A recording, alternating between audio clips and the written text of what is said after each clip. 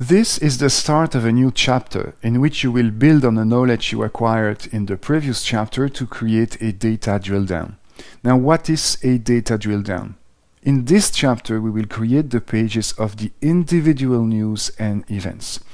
So far, you have a list of news and a list of upcoming events, but you also have those read more links. And when you click on a read more link, you want to see a specific news or a specific events. To do that, we need two pages. We need a master page and a detail page. Now the master pages are already created. We have one main page for the news and one main page for the events. In this chapter we will create the detail pages of those news and events. To do that we will need to pass information from the master page to the detail page. We will need to tell the detail page what news or what event to display. But we have a problem because the web is a stateless environment. So what does that mean? It means that when the browser connects to the server, when the browser sends a request to the web server, the web server answers that request, but then the web server completely forgets about that transaction.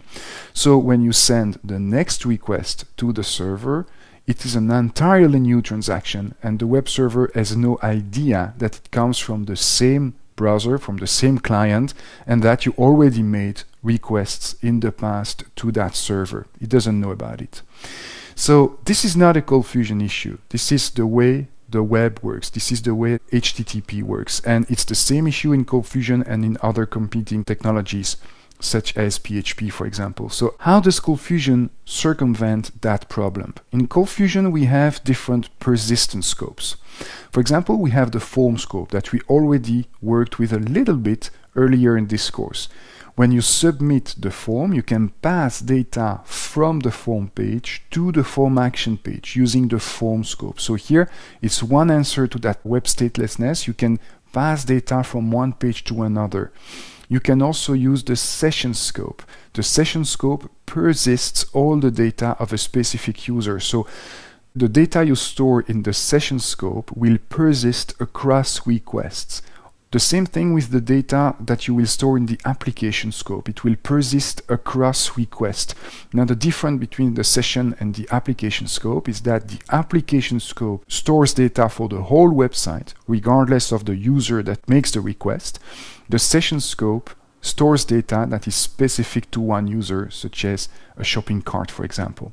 We also have the cookie scope. That's exactly what they are used for. Cookies are used to store data on the browser, on the machine of the visitor, so that that data can be persisted across requests. Now, in this chapter, we will use the URL scope. So we will pass data from one page to another using URL parameters. So this is the table of content of this chapter. We will generate dynamic links. You will see how you can dynamically generate the data that you want to pass from one page to another, from the master to the detail, using URL parameters.